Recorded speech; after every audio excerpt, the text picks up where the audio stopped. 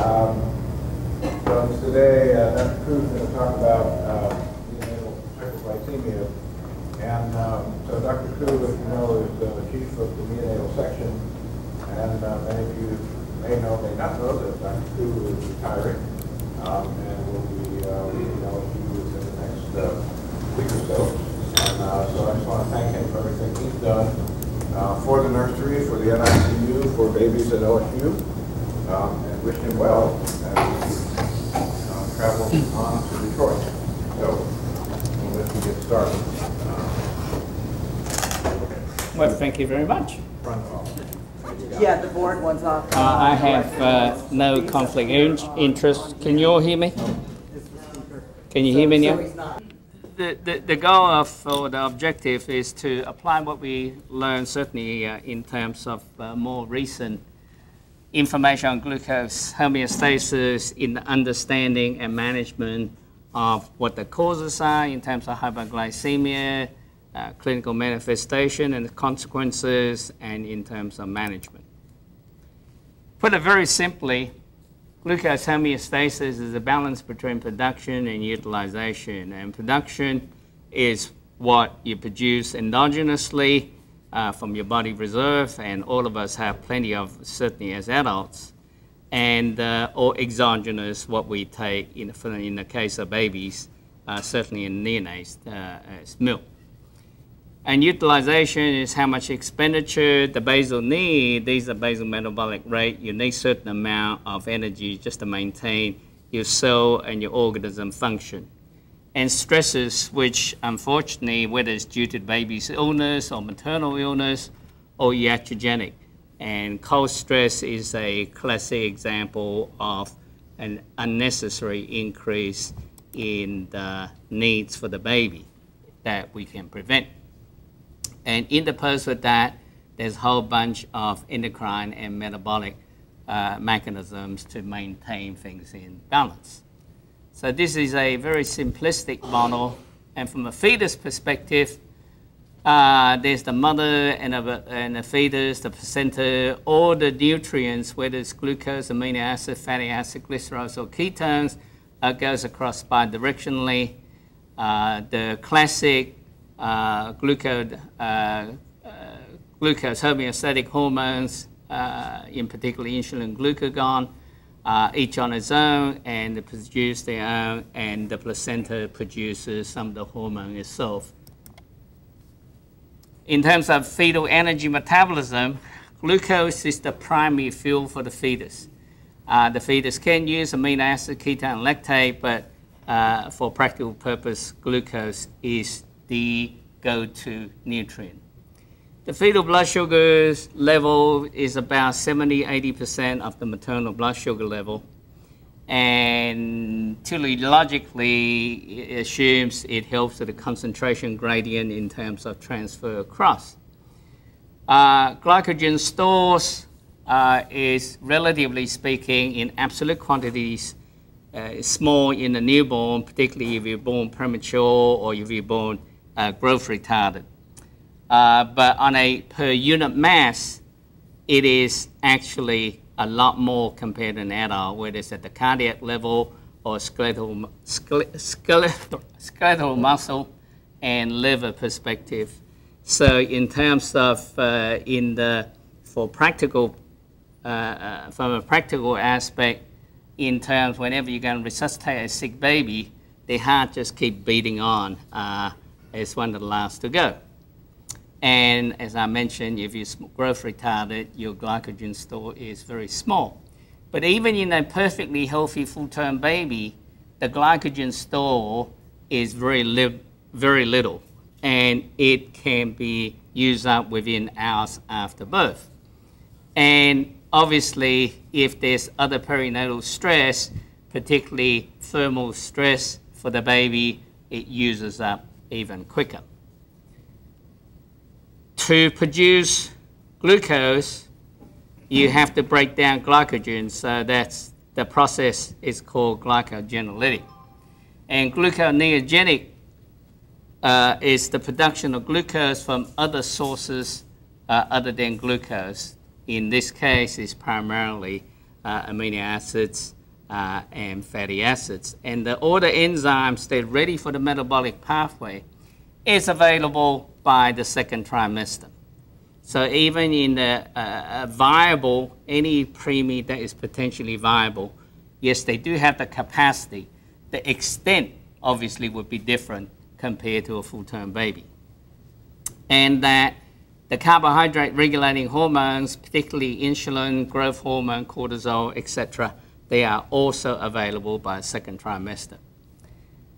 And the other source of glucose is from body fat. As I said, adults got plenty of it, and but for babies, when a baby born at 28 weeks gestation, only roughly 1% of body weight is uh, made up of lipid stores, and even a term is somewhere between around about 15% of body weight is lipids. So if you starve a baby, the baby is not going to be able to handle it uh, for very long uh, without running into the problems of uh, energy metabolism.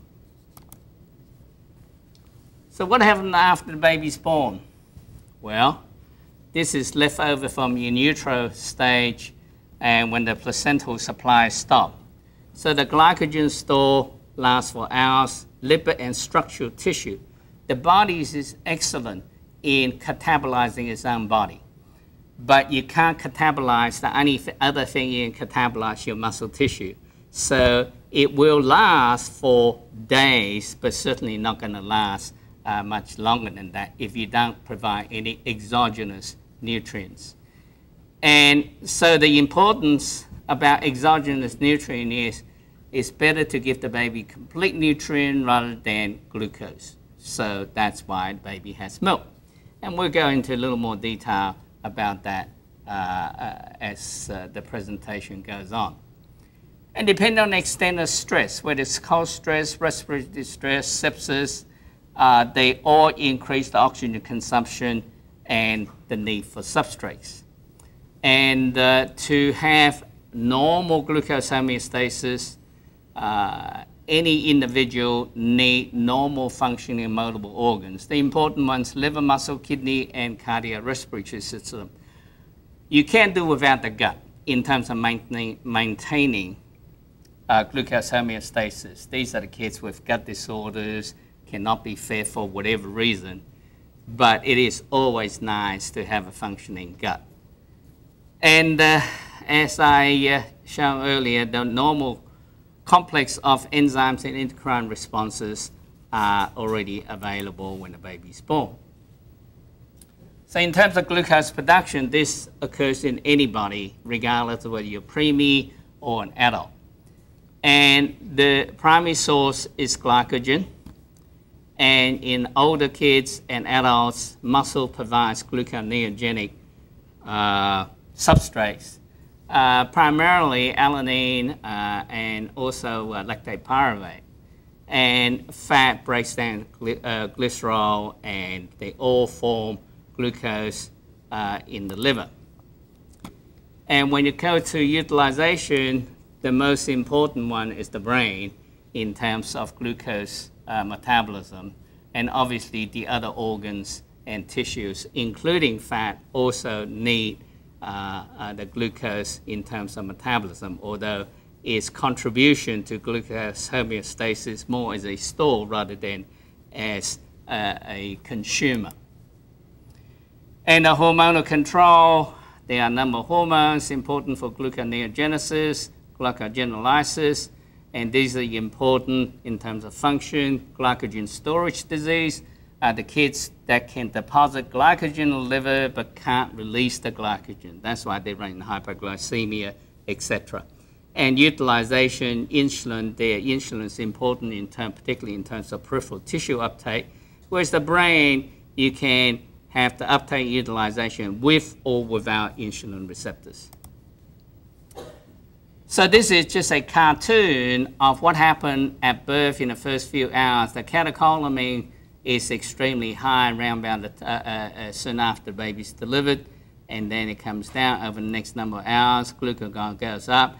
Insulin is relatively high, and if things settle down, it gradually goes down. But if you give any time a glucose challenge or nutritional intake, insulin do go up in postnatally. This is the baby without being fed.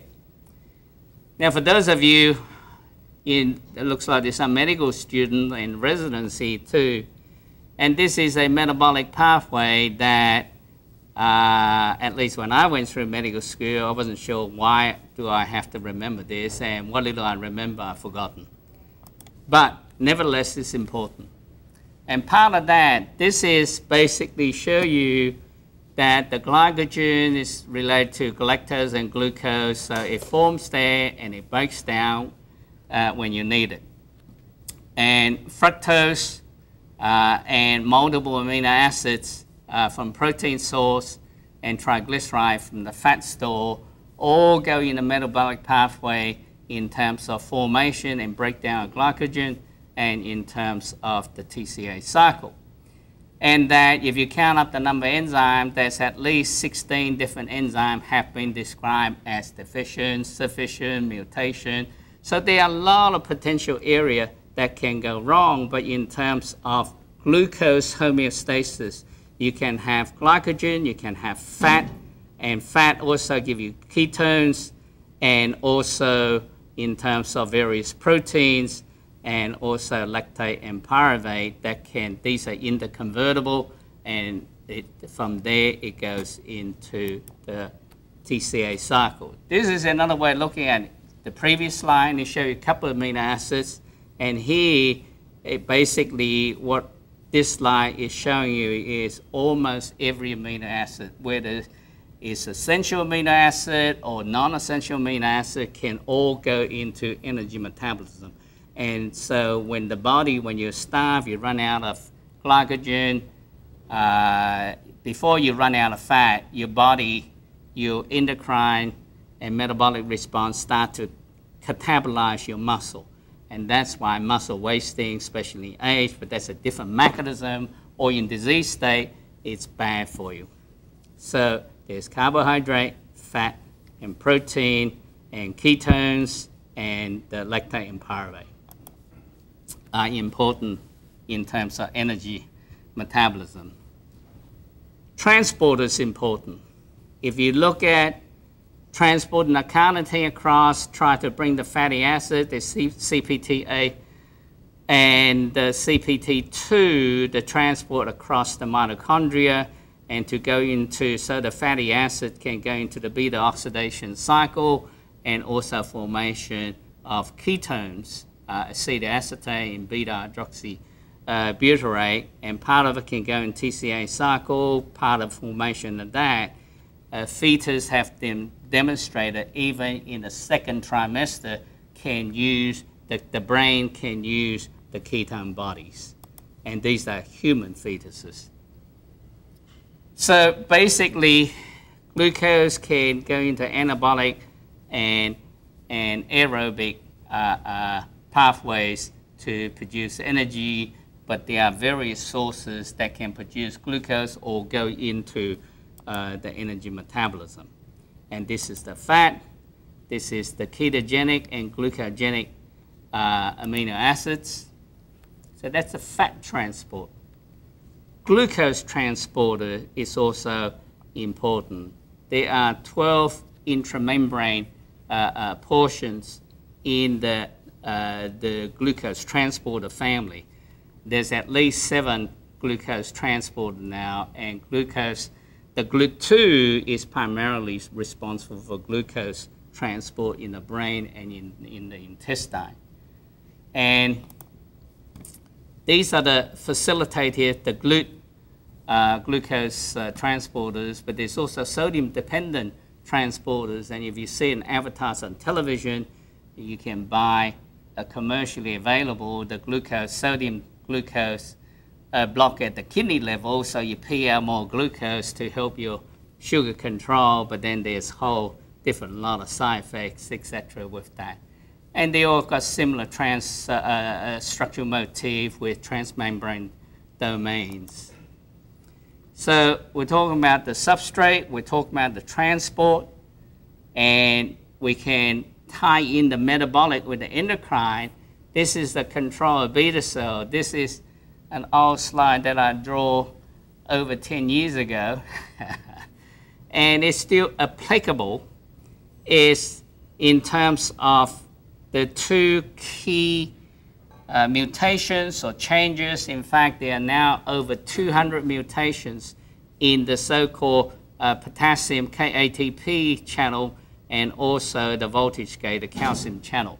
And these two uh, channels are critical to the release of insulin.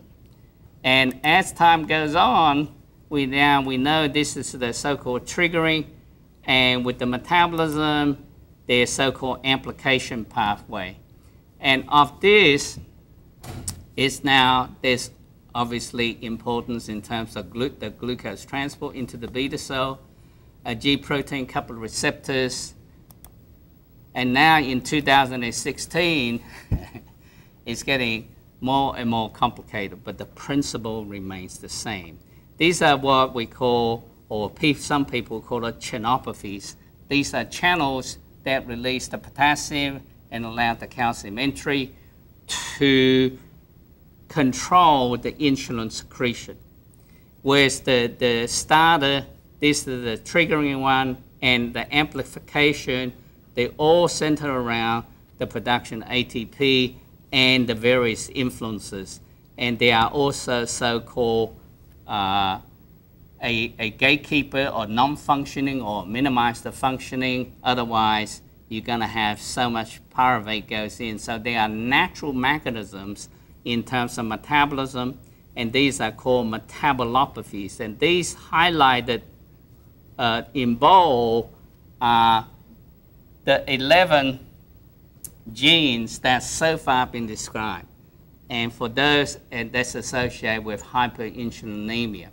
And some of these mutations depends on active or inactivating mutations can be associated with uh, MODY, which is juvenile onset diabetes and later onset of diabetes. And this is when I wish I had learned a bit more biochemistry. And in addition, we now know more and more uh, incretins. These are the gut hormones that stimulate insulin secretion.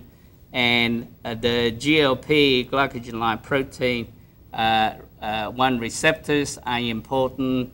And there are medications now to actually block this and or increase the uh, uh, the incretins and increased insulin secretion for the control of glucose for obesity, etc. So even though we're talking about hypoglycemia, but the principle applies either way in terms of ultimately affecting the insulin. So we talk about the substrate, we talk about the transporter, we talk about the metabolism, we talk about the control of insulin secretion. So there are based on what you've seen or, or what I presented, there are numerous pathophysiologic bases for neonatal hypoglycemia, and including iatrogenic causes, which I, I'll come back to uh, as we go along. So based on that, and I don't expect, and I certainly don't remember this long laundry list of potential causes. By the way, this is an incomplete list. But in terms of someone with hypoglycemia, they could be either asymptomatic or symptomatic. And it could be transient or uh, persistent and recurrent. And specific etiology, if you look at by group, it's too much insulin, there's problem endocrine disorder, problem with hereditary defects in metabolism. You saw that at least 16, 18 different mutations or changes ha have been described in terms of defects in metabolism and amino acid and fatty acid metabolism, as you can see. So that's why with an understanding the basic physiology, and, and no one to my knowledge would remember the whole list, but you can go back to the first principles and try and figure out. And other neonatal uh, problem, iatrogenic miscellaneous, I'll go to that a bit more later on. And this is just uh, uh, as I said, that's, this is an older slide. There's at least 11. Of the 11 genes that's important, there are over 200 mutations just in the two uh, potassium and calcium channel mutations been described. So the knowledge is improved at a pace that uh, one, I, I, certainly can't keep up with it. This took me days and days to prepare. Uh, so what happened to the normal baby? Because this is overwhelming majority of baby that we see. And as a resident, this is also the overwhelming majority time you get called saying, hey, this kid's dextrose is low. And my very first one that I never forget is a nurse called me and I trained in a different country. I was at a level uh, like a junior fellow counterpart. And this nurse said, oh, I can't get any glucose on this kid. So I said to her, I said, have you repeated? She said, yep, three times. So if any nurse tells you they've done more than once, you believe them. So I went there. I was trained in the days where the nurses don't put you in IV, the resident have to do that. And I was also trained when you do a Dextrostix, you need to collect a blood sample for, uh, for the lab to confirm it because you can't trust the dextrose. Kid looks great, was screaming his head off. I stuck a needle in, got the blood out, collect the blood, and the kid stopped crying. And the heart rate went boop, boop. Whoa, I thought, oh, this is real. Squirt in, and in those days we're using D25, that's how long ago it was. And jump on the chest, the kid started crying again. Once you've seen a severe hypo, symptomatic hypoglycemia. You'll never forget it because this is potentially life-threatening. And so we'll come to the management later on in terms of severe hypoglycemia. But for normal babies, this is a cartoon of the hormone that I show in terms of catecholamine, glucagon, insulin. The glucose for, the, for all babies tend to drop in the first hour or two and then it gradually creeps up. And these, these are the kids that, without being fed, and free fatty acid go up, what that basically saying, the body is breaking up whatever fat storage the baby has, the glycogen is basically been depleted over the first few hours. And depends on how far back you start training, there were a period that people don't feed the babies for days, and then for half a day, and then for hours. Now, as soon as they delivered, after you delay cord clamping, you put on baby's chest, uh, put the baby on mom's chest, and the baby will start to having rooting reflex and start suckling. That's all been encouraged. That's the current standard recommendation. Based on a good number of studies, primarily cross-sectional, this is one of the frequently illustrated one, and I already made this slide, so I wasn't going to change it. Uh, what happened is these are the so-called full-term healthy baby with the birth weight two and a half kilogram to four kilogram. Now, two and a half kilogram for a full-term baby tend to be a little on the small side, but by definition, low birth weight is less than two and a half kilogram. So this is so-called normal weight. And these are the babies that's fed within four hours after they're born. And these numbers are the numbers of samples they take at each time. This is the first six hours, 12 to 24 hours, one to two days, and so on and so forth. Now for these so-called healthy babies, this is two standard deviations. So that's 97.5 percentile, and that's 2.5 percentile. So you said to yourself, boy, this, this healthy kid got awfully high sugar. Can someone tell me why that's the case and that's not an infant diabetic mother. Mom's had IV glucose before C-section, and you get a lot of babies have high sugar when they come out. And, but they otherwise, well, there are plenty of elective C-section gets that. And the low ones is pretty respectable. The mean is around about 100, and it drops pretty precipitously to the mean around about 50.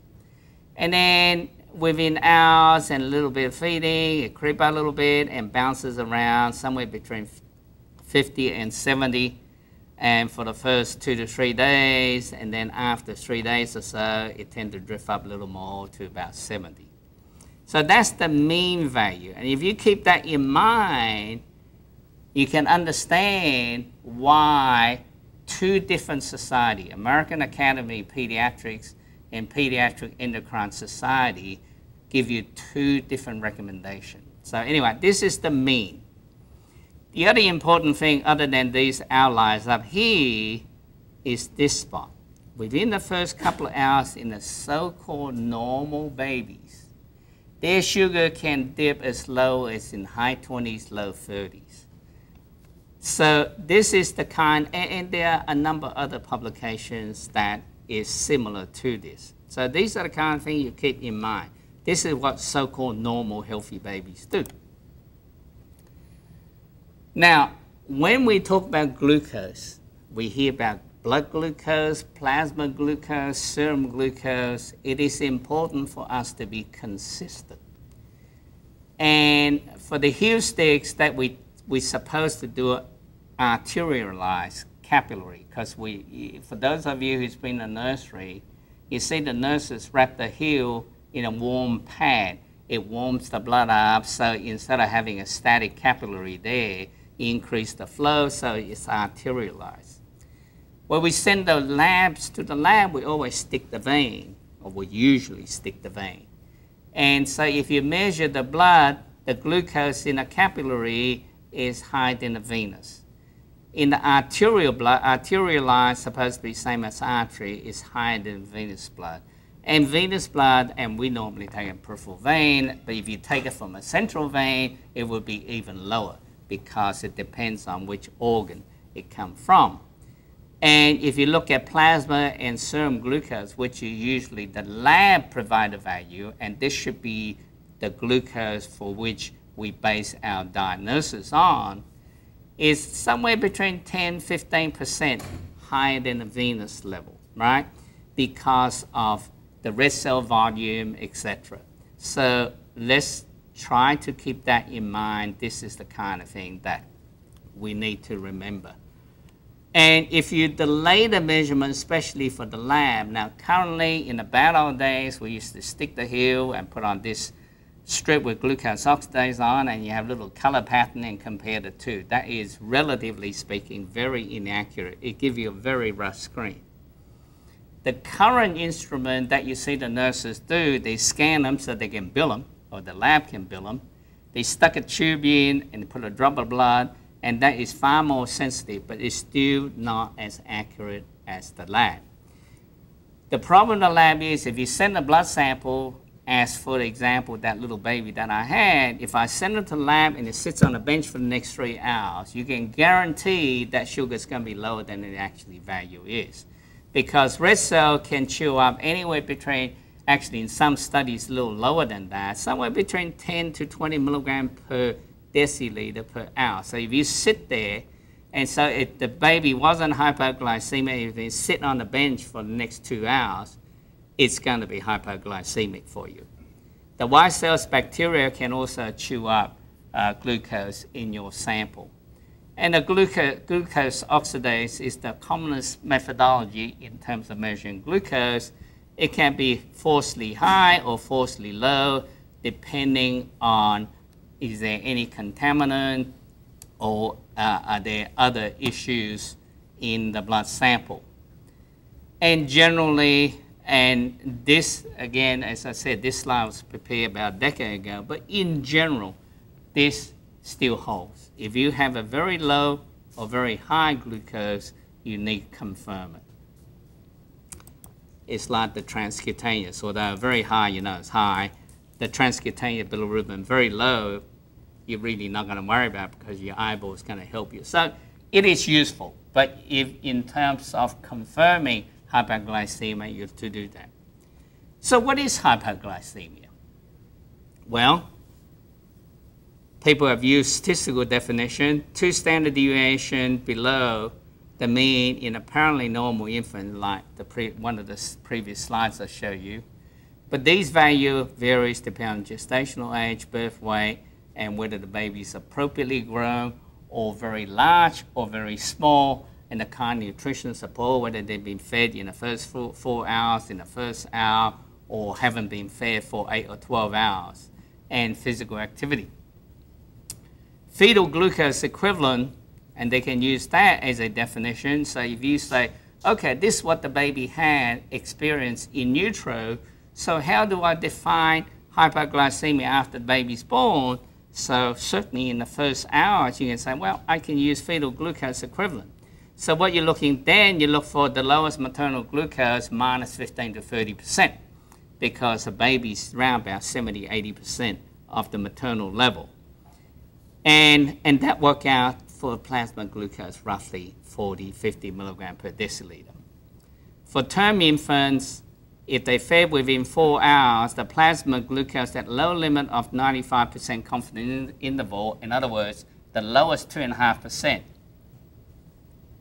it should be, the mean should be more than 40 milligram by 4 hours, 45 by 24, 50 by 72 hours. But at least 10% of the babies have one value less than 35 milligram per deciliter during the first few hours after baby's born. So these are a definition of hypoglycemia. So you can say, well, if the kid's perfectly fine, who cares? Uh, so that's one approach because you say, well, you've got to have cutoff somewhere. The other way to look at the final hypoglycemia is function. So if the baby is twitching away, seizing, and the sugar is less than 25, and you confirm that's low, in the meantime, you get the baby a bolus of glucose, the sugar come out, baby symptom resolved, that by definition is hypoglycemia. And usually, these are all reports.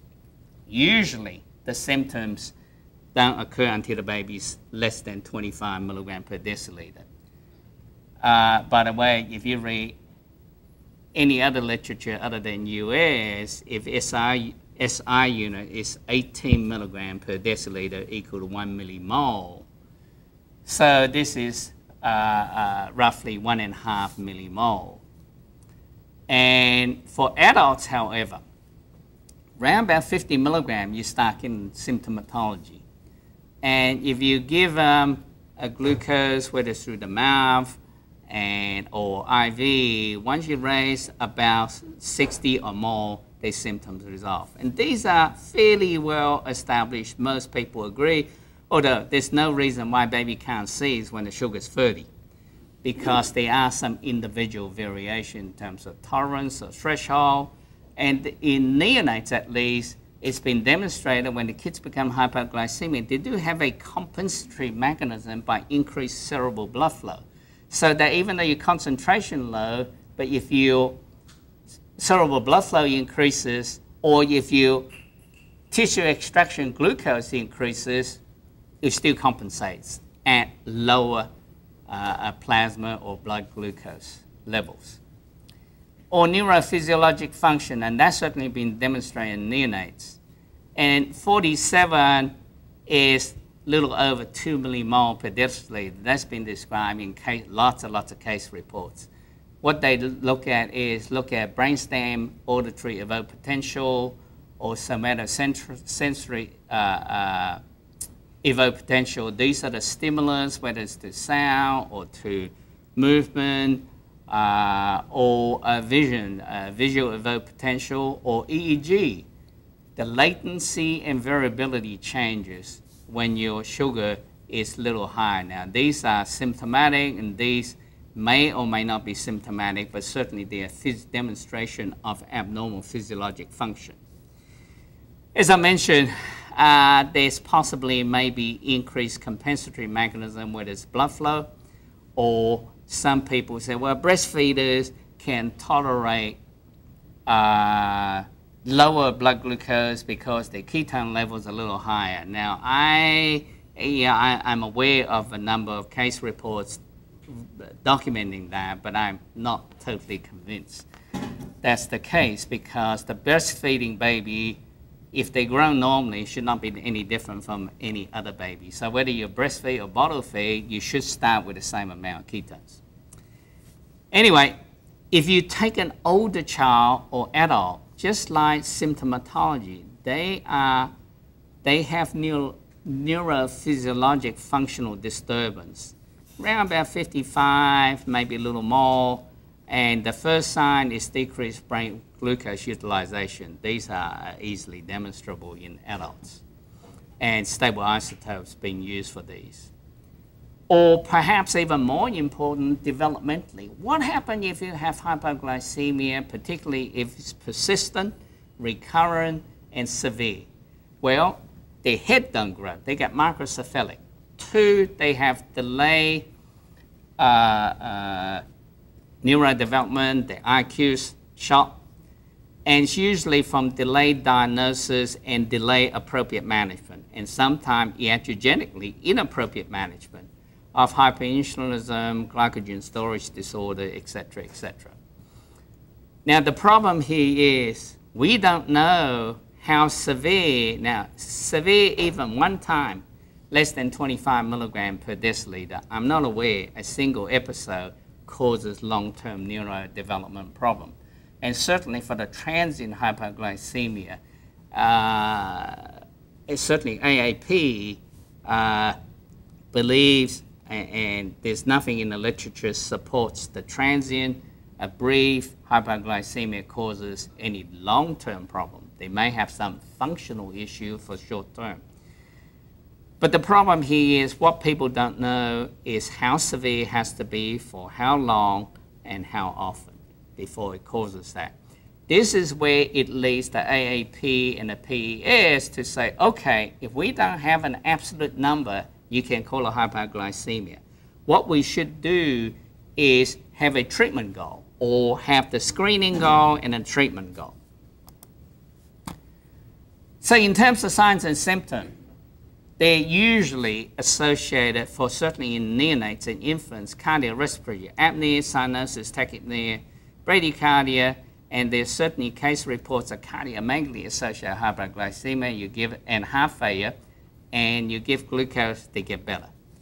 Uh, temperature instability, refusal to feed, the CNS issue, lethargy, apathy, sleepiness, or vice versa, that you're jumpy and perhaps even have seizures. And, uh, and skeletal wise, you be floppy or twitches away with myoclonic jerks. Now the problem with that is none of these are absolutely specific because there are a lot of other things can give you the same signs and symptoms. But nevertheless, these are commonly described. And if you confirm that is due to hypoglycemia, then you obviously need to have symptomatology that I described previous slide. You need a confirmation with lab-based plasma glucose assay to say it's indeed in the low range and then what's even more important is your resolution of symptoms after you give the baby uh, correct the low uh, sugar. Oops.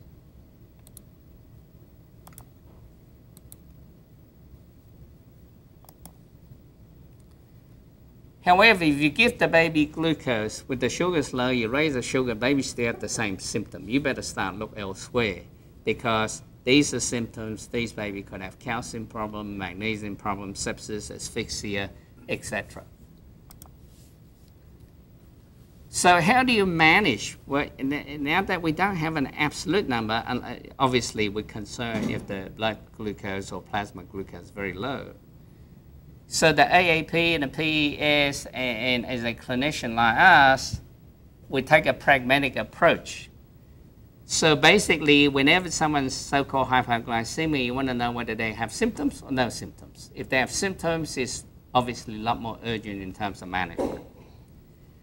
If they're asymptomatic, and particularly if it's transient, then it doesn't mean you shouldn't treat because at any time they can convert from asymptomatic to symptomatic. But the pressure is a little different. And obviously, it depends on individual threshold, the level at which you manifest your symptom, and the extent to which the body can compensate. And also in terms when we start feeding them. Whether these low glucose uh, values are transient or recurrent persistent. And also, as a clinical management perspective, and certainly from a recommendation from any scientific society or organization, you want to avoid overscreening of healthy kids. But at the same time, you don't want to send kids home. Now, once upon a time, kids stay with their mom for seven days, and then five days, and then three days, and then two days. And currently, they still stay with mom somewhere between 36 and 48 hours. In a lot of places, they even send them home after 24 hours.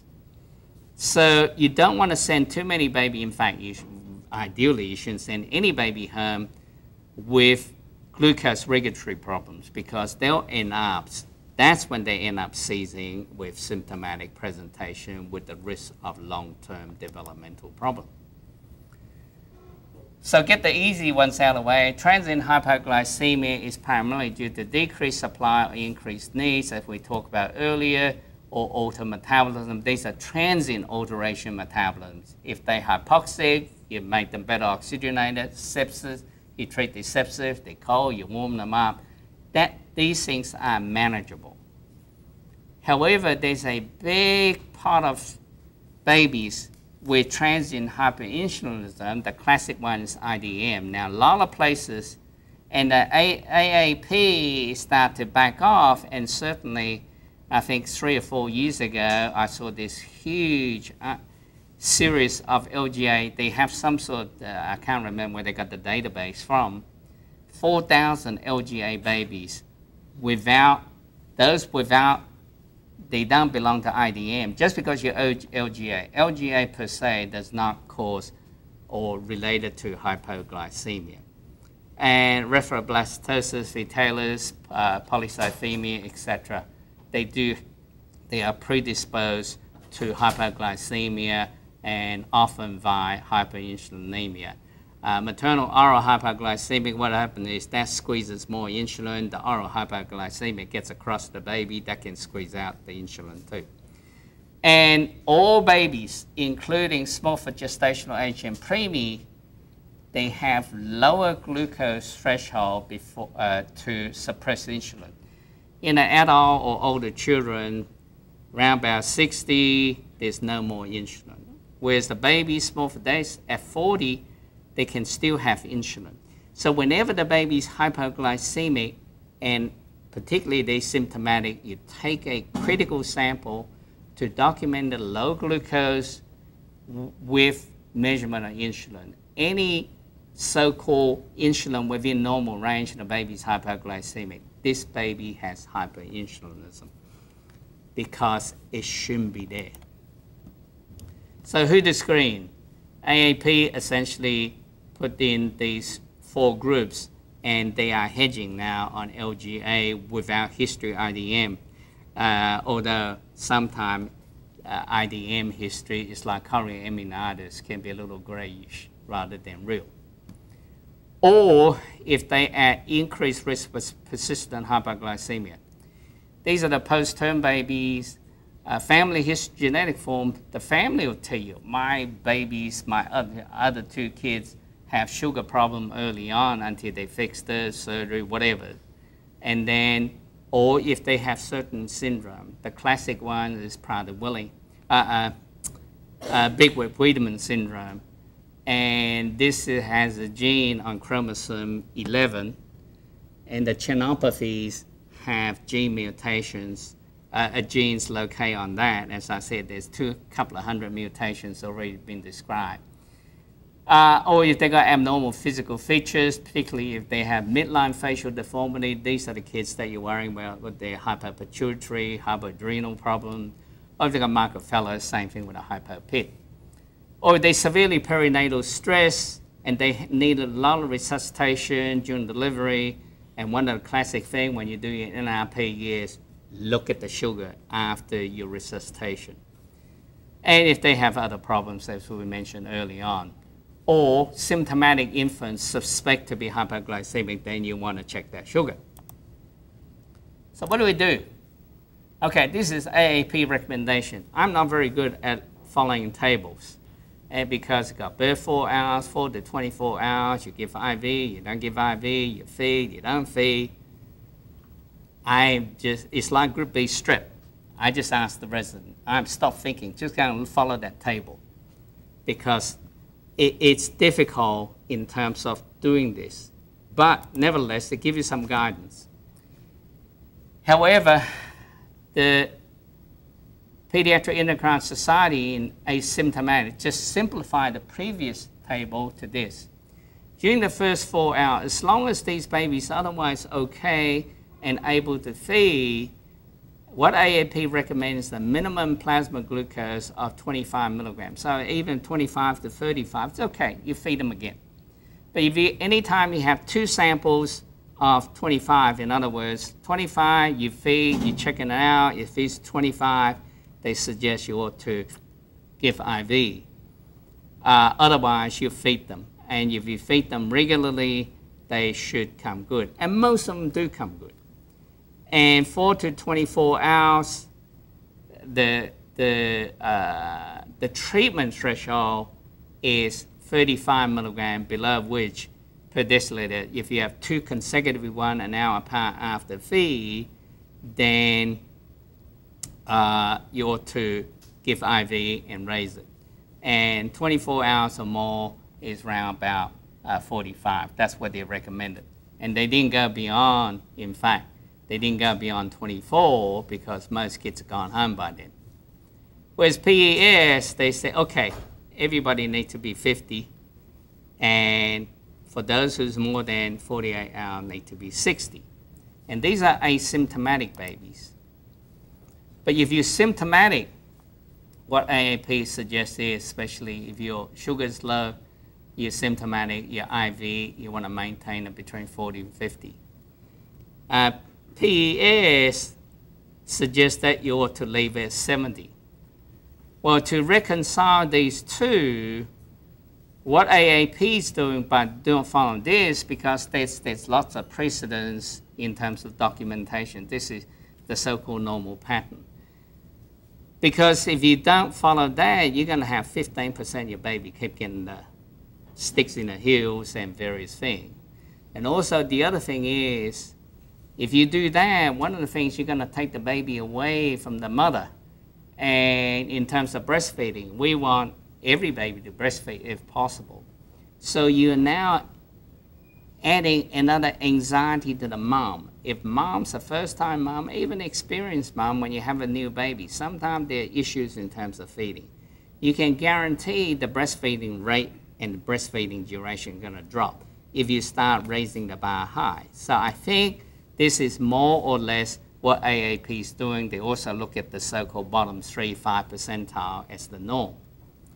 Whereas the PES, they use the physiologic function basis. Even though there's no obvious long-term sequelae, they feel it's probably safer using the mean value. Remember the curve I said, remember the mean value. They use that as one criteria and unfortunately, they don't have any data on neonates, and all these data are based on older children and adults in terms of physiologic function. But be that as it may, what AAP does in many ways, it's, it, it, it how should I put it? It does recognize the reality of breastfeeding, short hospital stay, etc.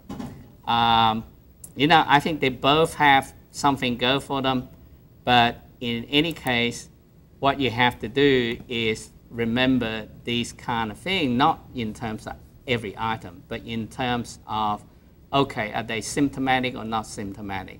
Is that going to linger on? That's the other thing. AAP say, hey, you got two, two values, one hour apart is still low, you do something about it. And your job, my job, is to minimize the iatrogenic problems. So, what the AAP recommended, and, and certainly PES, was certainly using the criteria even higher.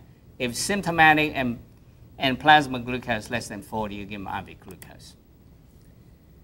So how did we um, come to the acute treatment? I think everyone would agree in neonates, certainly in the first couple of days, the normal plasma glucose would be 60 to 90. and you work on the base of normal, normal body glucose utilization, the glucose space, and the priming dose. And if you follow the calculation, the bottom line is this is how you get the 2 mils per kilo D10W. And uh, so instead of saying, okay, raw memory, trying to remember about 200 milligram per kilo, 2 mils per kilo D10W, this is how you arrive at that. When you give a bolus, what happens is within a minute or so, the blood glucose shot up pretty quick. And then, and then followed by infusion, it remains stable. Whereas if you give the baby a neonate an infusion without giving bolus, yes, it will take an extra few minutes. Takes about five minutes to get to certainly within two to three minutes, get you above 30, 35, and within five minutes, get you about 40, and gradually goes up. And the mean certainly meets uh, within half an hour and uh, uh, an hour or so. Uh, but particularly if symptomatic, you can give a bolus followed by infusion, or if you just want to give infusion, you should be able to get it up uh, within a reasonable period of time. In this case, 10, 20 minutes, it should be there. Okay, use the gut. That'll apply to anything uh, in terms of nutrition support it sure be less stress and pain for the baby because if you stick an IV in a baby, it may not be the first time. It may be second or third time before you get a yin. And then the IV might pack up within hours, you'd be on a second IV. You start milk, preferably not sugar water, uh, if you start feeding them if at all possible because there are some kids just not ready to be fed for other medical reasons. Okay, does anyone the resident or student know the difference between milk versus D10W in terms of would you prefer to have one mil, one cc of milk or one cc of D10W in terms of nutrient density? All right, about one cc of milk and one cc of parenteral nutrition, including lipids, in standard two gram per kilo per day?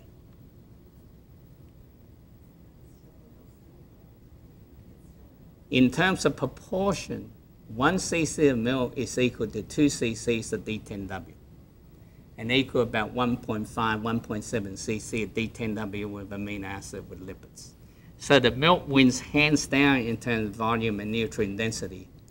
The second benefit of milk is, remember, you have glucose and leucine. These are two primary things that stimulate the beta cell insulin secretion.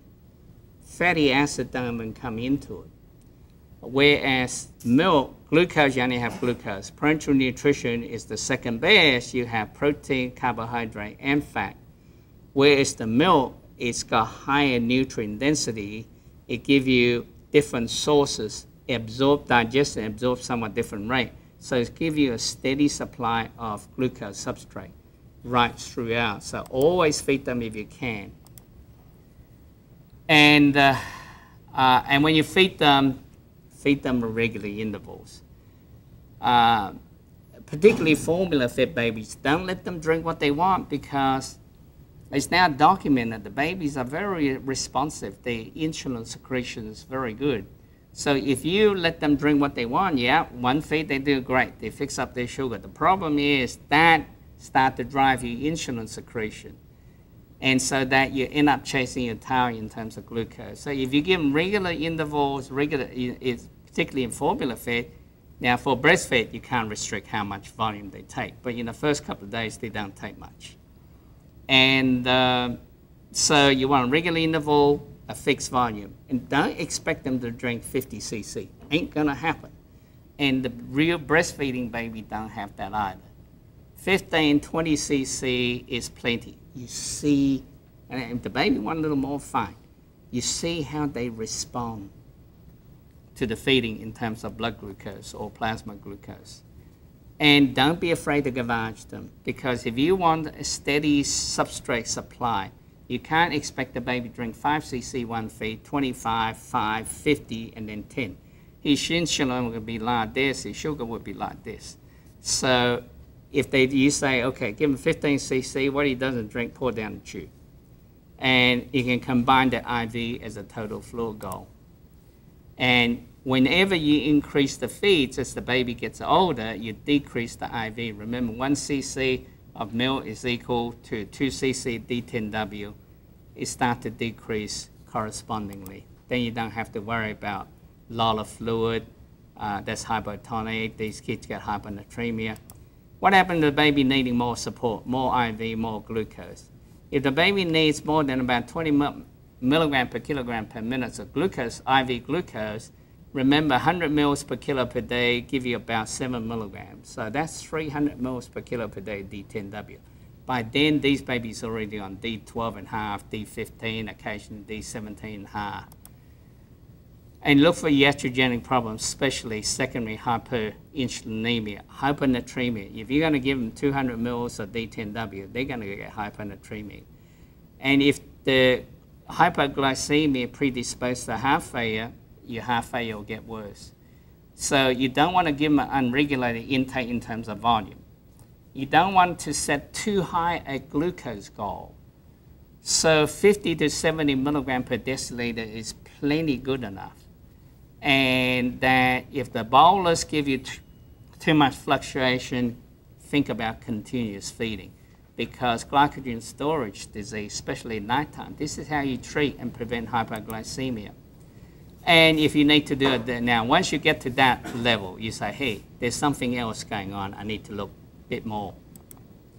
And you also, one, look for causes of persistent hypoglycemia and consider pharmacotherapy. And if the baby getting that much glucose, still getting uh, when the sugar is low, that's the time for your critical sample.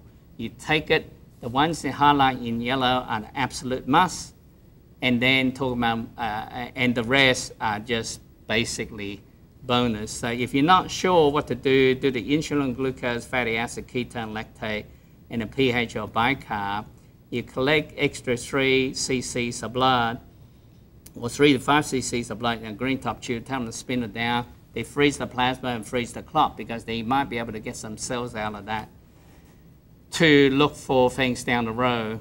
And then if you can get some urine, fine. If you don't, it's not absolutely critical. And then beyond that, you might think about response to glucagon, fasting challenge, or pre-op localization. And when to ask for help, you ask for help anytime you feel you're over your head. Uh, and even the endocrinologist might have to go and look up the whole list, but at least they have the concept of when to manage. And for those few basic things, you can rule out, even though I show you lots of slides, you can rule out majority of diseases by doing that, looking at the acid-base status, looking at the presence or absence of ketone, and the extent of fatty acid and lactate, so it tells you where your problems lie. These are the parts that you're going to chase after once you have some ideas here. In pharmacotherapy, the four drugs that there are lots of other drugs you use, but the, the four drugs, the first line should be diazoxide. That might only work for about 60, 70% of hyperinsulinemia, but that's the first line. It's like treating the cause. Somatostatin analog is number two, you might try glucagon. It used to be said small for days they don't respond to glucagon. They do. And partly they counteract the insulin. Corticosteroid, uh, unfortunately, has been used for a long time and still being used. And this should be avoided because one, it doesn't treat the commonest cause of transient and persistent hypoglycemia, which is hyperinsulinemia. It works by tissue catabolism, decreased peripheral glucose intake. So you starve the periphery, drive the blood glucose up to feed the brain, and steroids can also raise blood pressure, even in babies. So there's really no good reason to use steroids. Okay, pharmacotherapy. Side effect of one of the common pharmacotherapy. Anybody know? Hypertrichosis with diazoxide and there are other. Now, this kid might look a little hairy, but he doesn't. He didn't take uh, diazoxide.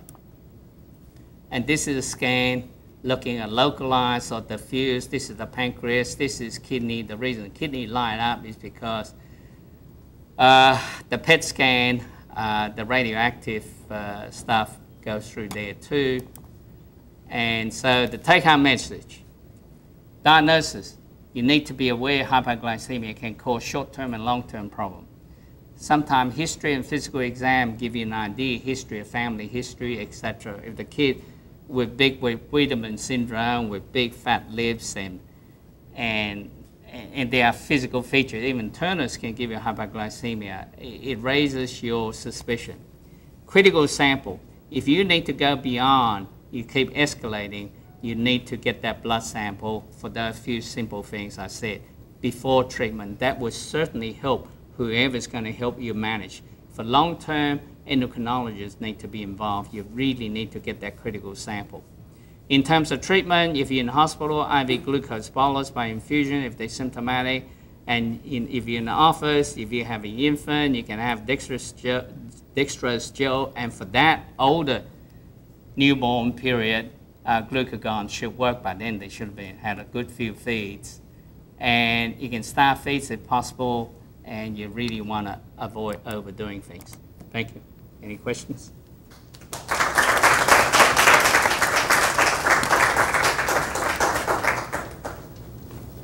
Questions, comments? Dr. Parana? That was a good overview, uh, Winston.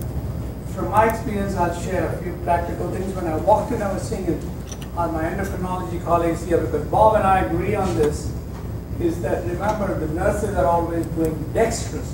Dextrostix was invented for adult diabetics to screen blood sugars less than 80 milligrams.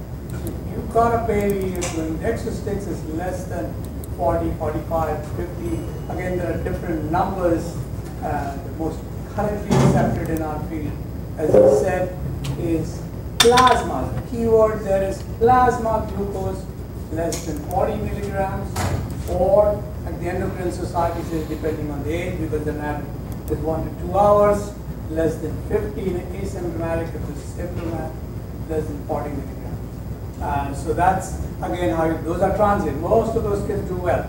You just feed them every hour or two, they will be fine. That's never a problem. The problem I have is that if you have a Dextrostix, when we come to make rounds in the morning, we see somebody's given them IV glucose. No, your kid's got a low Dextrostix, you must draw blood sugar and as Winston very nicely pointed out that the true glucose oxidase method in the lab is unreliable if it sits, in the red cells are consuming glucose for its metabolism. So it's unreliable after even half an hour, one to two hours, you can So that's something you have to remember. Send the lab, tell the lab, I want the results stat back. So if you got two consecutive sugar less than those numbers, those are the kids you treat, and it's nicely pointed out. If oral first, if oral doesn't, then only give IV. Second point I would reiterate what Winston said is we've had babies transferred to us from other hospitals. Several of them are your patients, right? But they've been treating and going up and up on the glucose. Is that, as he again made the point that you want to do all the labs with the lowest blood sugar, especially ACTH stimulation, uh, uh, pituitary hormones, cortisol, all those, because if it's once the sugar comes to normal, none of those endocrine results are reliable. In my experience, the one commonest conditions you miss are galactosemia, uh, you can miss hypopituitarism because the baby is otherwise fine till he becomes one or two years old when the growth starts uh, dropping, or you can miss uh, certain uh, rare metabolic disorders I've seen, whether it's uh, uh, methylmalonic acidemia or one of the other ones. And as you again correctly pointed out, the three tests I always do, do a sugar, do ammonia, to lactic acid, and to a ketone. If they're normal, you're not dealing, 99.9, you're not dealing with metabolic disorders. Love your comments as an endocrinologist on that. I, I want to thank Dr. Koo for this wonderful review and Dr. Kerman for the nice comments and uh, refers about the issue. Actually, as an endocrinologist, I think I want to uh, emphasize the importance of that critical sample. When the blood sugar is low, you want to look at all the other metabolites, hormones uh, at, at the same time. Um, and that, that will give us the basic differential diagnosis. And of course, a good history and maternal history, prenatal history, natal history, those also help us. And then a good physical exam. That uh, all of this is a, it- it's going to be a complete evaluation. Um, one other thing is, uh, Dr. Koo made a point about that, and I want to emphasize it one more time. So you have a low blood sugar. Sometimes we get a call from an outside institution, and they say, "Oh, the blood sugar was 40, and we checked the cortisol, we checked the insulin, and insulin is normal. It's in normal range." Then uh, we say, "What was the actual level?" So technically, it should be suppressed. It should be unmeasurable uh, in the presence of a low blood sugar. So we, uh, we want to know. The, exact values and uh, interpret them well. Thank you very much. Great. All right, well, I think in the interest of time, we need to close, but, uh, yeah. All right, Thank you very much.